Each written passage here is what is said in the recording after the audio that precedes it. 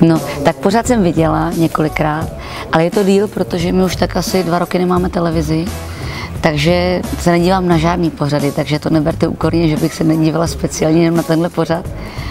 A no tak já jsem, já jsem zvědavá, no. Já mám, tak se nechám překvapit. No nemám představu úplně, o čem se budeme bavit, ale protože pan Kraus je zvídavý, tak to jistě bude překvapivé, tak, tak uvidíme, no.